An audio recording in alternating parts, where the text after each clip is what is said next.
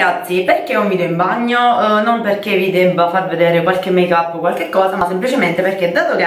devo mm, uh, farmi i capelli col Babyliss e tipo ve l'ho fatto vedere questo video una volta soltanto e comunque nel mentre voglio anche parlarvi di qualcosa ho detto a questo punto faccio due cose contemporaneamente e um, vi faccio praticamente il video mentre mi arriccio i capelli mentre um, comunque vi parlo di quello che vi vorrei parlare in questo video una location un po' strana, è vero, allora innanzitutto mi tolgo questi cosi, sono cose armadi, perché ieri sono andata a tagliare i capelli, infatti se vedete dall'ultimo video li vedete più corti, oltre che tutti uguali, perché io li ho, preferisco averli tutti uguali ma che sono più facili da pettinare, insomma, robe del genere, e cosa? Fatta completamente a caso, ma veramente a caso, perché uh, parlando con mia cugina stavo dicendo parlando di altre cose, ripeto, a caso, non c'entrava proprio niente questa cosa, a un certo punto esco e faccio, ma quasi quasi mai mi a fare un piercing, così proprio dal nulla, e ieri, quando sono tornata al parrucchiere, mi sono andata a fare l'elix che sta qui, non lo vedete? Vabbè, sarebbe il puntino che sta là, ovviamente ora deve, si deve insomma sanificare, io lo sto disinfettando, ieri ho fatto gli impacchi col ghiaccio che comunque mi hanno permesso di non farlo gonfiare, non so se questa sia la giusta procedura, però io mi, sono sempre comportata così quando ho fatto anche gli altri buchi alle orecchie. Allora, di che cosa voglio parlarvi in questo video? Scusate se ogni tanto guardo, però devo un po' vedere cosa sto combinando, devo stare attenta perché non mi devo fare male, soprattutto perché il piercing è stato fatto ieri e mi fa ancora male di cosa voglio parlarvi in questo video? In questo video voglio parlarvi delle confidenze o, o meglio di come le persone tendono a uh, confidarsi costantemente con persone sbagliate mi sono resa conto che io spesso e volentieri mi confido con persone sbagliate, o meglio parlo con persone che alla fine di quello che io vivo, di quello che io passo in quel momento, non se ne fregano un H di niente. E io puntualmente ci rimango male. Brava Giulia, hai scoperto l'acqua calda. Sì, in effetti, non c'è neanche una molletta qua. Brava Giulia, sempre molto furba. E, ehm, puntualmente, ripeto, non fregandosene un H di niente, io rimango uh, puntualmente a parlare con gente che appunto non se ne frega niente e invece di darmi consigli tende sostanzialmente a buttarmi a terra ed è una cosa che io non ho mai sopportato. Ora, come si può ovviare a questo problema? Allora, innanzitutto bisogna capire bene il tipo di confidenza che si va a fare e selezionare bene la cerchia delle persone con cui noi andiamo a confidarci. Mi spiego. Se noi dobbiamo confidare una questione di lavoro, ad esempio, magari è più indicato parlarne con uno dello stesso settore nostro e quindi farci avere una sorta di confronto con questa persona stessa cosa si tratta di un ambiente universitario stessa cosa si tratta ad esempio di un ambiente sentimentale di amicizia eccetera eccetera perché? Perché quando ad esempio andiamo a parlare di una questione universitaria e ci confrontiamo con persone che non frequentano l'università o comunque non l'hanno frequentata per loro scelta, per loro ragioni in generale, ci rendiamo conto che non ci daranno mai il consiglio che noi uh, chiediamo, ma non vogliamo sentirci dire, proprio chiediamo. Poi l'errore più grande è uh, parlare alle volte con persone che ci danno a prescindere ragione. Allora non è così che funziona perché uh, la, um, il consiglio, la confidenza o comunque qualsiasi cosa va fatta con criterio, non a prescindere del siccome quello è amico mio mi dice per forza che io son, so, mi, mi sto comportando bene non funziona così, non è così che si svolge la, la cosa, ma soprattutto non è uh, una cosa consigliabile perché sentirci dire semplicemente sì sì stai facendo bene non ci aiuta, anzi al più ci fa sbagliare ancora di più. Quindi uh, il consiglio che io vi do, ecco, consiglio, è innanzitutto selezionate bene le persone con cui andate a parlare di una determinata situazione, ma soprattutto uh, chiedete alle persone sincerità, anche se questa sincerità magari può uh, farvi male, darvi fastidio, uh, eccetera, eccetera. Postilla, c'è modo e modo di dire una cosa, c'è modo e modo di essere contrari alla vostra opinione, c'è modo e modo di dirvi che magari una cosa non la state facendo bene o la state facendo bene, c'è modo e modo di farvi capire che magari quella cosa va fatta in un altro modo oppure non va fatta proprio. Non bisogna essere sempre, questo lo dico in particolare a determinate persone,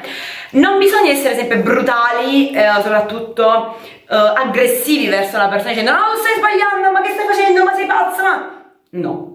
Non funziona così, è sbagliato, non porta a niente, anzi porta la persona che vi ha chiesto un consiglio, comunque che vi ha chiesto un parere, a stare ancora peggio. E dato che se si è confidato con voi significa che un minimo di rispetto per voi ce l'ha, siete amici, parenti, dovete evitare il uh, io gli dico le cose come stanno in maniera brutale così le persone le capi la, la, persona capisce meglio. Uh, niente di più sbagliato. Le persone capiscono comunque anche se le cose vanno dette con toni più moderati con toni più tranquilli ma soprattutto le persone capiscono anche di più. Perché se noi aggrediamo chi abbiamo di fronte semplicemente dicendo tu stai sbagliando non devi fare così non devi fare così Uh, otteniamo l'effetto contrario, otteniamo che quella persona si chiude ancora di più, si allontana da noi e magari sbaglia anche il doppio, quando invece si ci ha chiesto consiglio era per non sbagliare. Poi, qua faccio una piccola specifica. Quando uh, ci sono dei problemi di relazione, di coppia, è normale perché lo fanno tutti, io l'ho fatto anche, chiedere consiglio agli amici dell'ex o della ex, uh, non fatelo.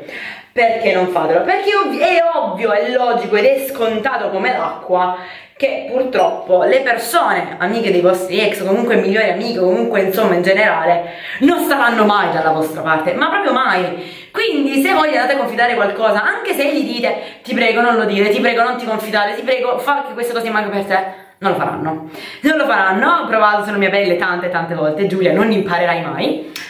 Quindi vi consiglio vivamente di evitare la cerchia di persone che gli girano eh, intorno in maniera molto stretta perché ottenete l'effetto contrario. Stessa cosa, se magari trovate quella persona che vi aiuta e veramente lo fa, evitate uh, di parlare con persone che vi ripetono in continuazione le stesse cose come un disco rotto, tipo il Ehm, eh, non hai capito che tanto vi siete lasciati, che ormai non tornerete più insieme? Allora, noi non siamo stupidi, le cose le capiamo, vogliamo evitare queste ripetizioni perché le cose comunque ci rimangono impresse. E il sentirsi dire in continuazione questa persona non torna, oppure questa persona con te non vorrà stare mai più, oppure uh, un'altra qualsiasi cosa, tipo no per adesso non ci parlare, una qualsiasi cosa. Va detta una volta, due volte, ma non 354 miliardi di volte, perché non è che se lo ripetete in continuazione quello che prova la persona in quel momento, quello che pensa la persona in quel momento cambia, siccome voi gli state ripetendo 850 miliardi di volte non ci devi parlare, con te non ci torna, oppure adesso è un periodo in cui sta particolarmente nervoso o nervosa, non ci devi parlare, perché non è così! Io non so in che lingua spiegare questa cosa, perché puntualmente la gente si pensa che di fronte abbia degli imbecilli che se non gli ripetete in continuazione questa, questa frase proprio del vedete che la, cosa, uh, la situazione è questa, la situazione non cambia, questa persona così di punto in bianco cambia idea e voi vi pensate nella vostra mente contorta e malata, perché quello è, che, non lo so, nella testa della persona questo, questo concetto non venga recepito. No, le persone non sono stupide, non sono uh, imbecilli ed è un concetto che deve essere interiorizzato, deve essere un concetto che deve essere carpito con i tempi delle persone. Non è che siccome voi dite le cose stanno così così così, ah di fronte avete tac la bacchetta magica e puntualmente la gente ha cambiato idea. Questo come in tantissime altre situazioni dove, come vi ho detto prima, io sconsiglio vivamente Uh, il parlare con gli amici o, o con, comunque con parenti stretti perché um, come è successo a me nella prima relazione mi sono trovata praticamente con le minacce e l'altro poco finivamo in tribunale. Quindi evitiamo proprio, queste, questa, proprio questa procedura perché è sbagliata, non vi porta a niente ma soprattutto vi distrugge la salute semplicemente evitando di confidarvi con parenti del fidanzato o della fidanzata, di confidarvi con amici troppo stretti che comunque dalla vostra parte non staranno mai e se staranno dalla vostra parte vi affonderanno ancora di più, cioè magari sì, sono dalla vostra parte, vi vogliono anche bene, parte, ok? Però, però, cosa succede? Che vi, vi staranno a ripetere o a dire in continuazione, eh ma con quella persona non ci devi stare, eh ma vi dovete lasciare, quindi metteranno quella sorta di pulce nell'orecchio che è sbagliatissima. Quanto riguarda il discorso accademico, come vi stavo appunto accennando all'inizio, uh, cosa succede? Che se voi parlate con una persona che comunque non ha intrapreso il percorso universitario o che comunque non è in grado di capire uh, cosa si fa all'università o comunque di entrare proprio in quel meccanismo accademico che è diverso da quello scolastico, vi starà sempre a ripetere una cosa, cioè qual è il tuo dovere, uh, il voto che hai preso è il minimo che dovevi fare, è il minimo sindacale, non è necessario che, um, che comunque ti accontenti di questi voti bassi perché comunque tu studi e basta, non fai niente la mattina e la sera, questi non sono consigli. Questi non sono consigli, questo è un buttarti a terra, questo non è un consiglio costruttivo, questo non ti porta a niente. Sentirsi dire in continuazione Uh, no no questa cosa la stai facendo così ma in realtà non, non ti spetta niente non ti meravigliare uh, cioè io non so molte volte che cosa pretendete dalla gente che vi chiede i consigli. Se vi ha chiesto un consiglio non era un mi devi buttare a terra altrimenti io non vivo più non è un se ti ho chiesto un consiglio mi devi dare un parere purché sia negativo e mi debba far stare male è un po' contorta questa cosa e soprattutto la cosa più contorta del mondo che io non capirò mai dall'atto della mia ignoranza è il ma io ti dico così così tu ti rafforzi, così tu capisci bene la vita com'è, perché è dura ed è difficile. Allora, momento, momento, uh, di che stiamo parlando? cioè, perché arrivate a creare questa concezione assurda della mente delle persone? Semplicemente dicendo no, ma la vita è difficile, quindi io preferisco essere così brutale e dirti le cose come stanno, così tu ti corazzi e capisci che cosa mi devo corazzare, ma che stiamo, non lo so, ma stiamo andando tutti in guerra ogni giorno della nostra vita. Scialla, raga, vedete le, vivete le cose con più semplicità, con più spensieratezza, con più tranquillità, e ve lo dico io, eh che come dicono tutti io sembro la persona più isterica e frettolosa del mondo, più non tranquilla del mondo. Come ha detto oggi un'amica mia, io forse sono la persona più tranquilla e pagata del mondo, anche se a tutti anche se alla razza umana, quindi a tutti gli altri, do sempre dimostrazione che sono una pazza isterica, quando invece non lo sono. Io mantengo una tranquillità interna che voi non la vedrete mai, perché sono io che non ve la faccio vedere, perché non ve la voglio far vedere. Se io vi facessi vedere la mia vera tranquillità interiore, poi mi sentirei dire in continuazione, come sta succedendo anche in questi giorni, ma te non te ne frega niente, ma tu sei troppo tranquilla, uh, si vede che di questa cosa che stai facendo non ti interessa, tanto come la faccio faccio la sbaglio, quindi io so di essere una persona tranquilla, mi tengo la mia tranquillità per me, ma soprattutto mi rendo conto che quello che faccio io e quello che penso io non è condivisibile con la maggior parte delle persone, quindi seleziono la gente con cui voglio parlare, seleziono la gente con cui voglio confidare e prendo quei consigli come esempio da seguire o da non seguire, ma non come carta della Bibbia, come non lo so, il Vangelo che è per forza quello e la legge, no i consigli sono tali perché se volete li seguire, non perché dovete essere obbligati a seguire quello che vi dice un amico o quello che vi dice un'amica, cioè eh, no, perché altrimenti ottenete l'effetto contrario. E ora, notare come il semplice confidarsi con una persona, se uno lo analizza bene, diventa anche questo quasi un compito che una persona deve seguire in maniera attenta perché il confidarsi con tutti a parte che porta a un vociare assurdo di, di, di, gente che parla con quindi se vi confidate con delle persone state attenti che queste persone non siano delle chiacchierone come le ghiandaie chiacchierone di Hunger Games ma soprattutto che sappiano veramente che voi ci tenete a loro che quindi se vi state confidando con loro c'è un diavolo di motivo.